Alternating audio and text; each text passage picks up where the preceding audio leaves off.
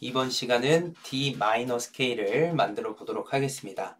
자, 마이너 스케일이 되려면 온 반, 온, 온 반, 온, 온 이렇게 조건이 있었죠. 2도와 3도는 반음 관계, 5도와 6도는 반음 관계가 되겠습니다. 자, 그러면 화면을 보고 같이 한번 이번에는 문제를 풀어 보도록 하겠습니다. 자, 우선은 위에 그림을 만들어 놨죠.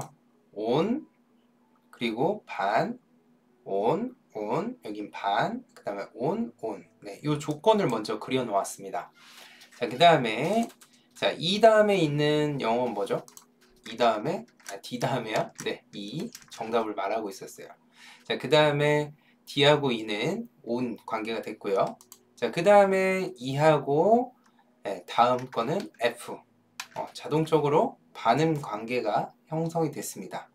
자, F에서 다음 음인 G는 온을 형성해 주고요. 그 다음에 G에서 온은 당연히 A겠고요. A에서 이제 온이 아니라 반이니까 뭐가 나와야 되죠? B 플랫이 나와야 됩니다. 자, 그 다음에 B 플랫에서 온을 만들어야 되기 때문에 B 플랫에서 B, C 여기 이제 온을 만들어 주고요.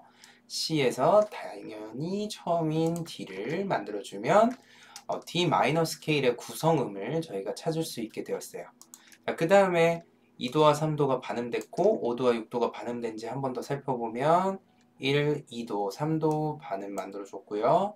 네, 그 다음에 3도, 4도, 5도, 6도 5도, 6도도 반음 만들어줬죠.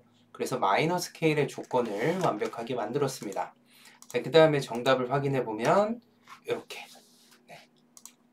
2, 3도 반음, 5, 6도 반음해서 D, E, F, G, A, B 플랫 C, D라는 마이너 스케일의 음계를 찾아냈고요. 조표는 B에 플랫이 하나 붙는다. 이렇게 암기를 해주시면 되겠습니다.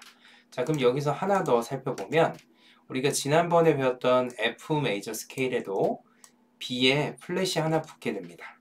그러면 조표에 B 플랫 하나가 붙는 또 다른 네, 스케일의 이름은 D 마이너 스케일이 되겠습니다. 그래서 F 메이저 스케일과 D 마이너 스케일은 같은 음계를 사용한다. 같은 스케일이다. 이렇게 조금 이해해 두시면 나중에 사용하기가 편합니다.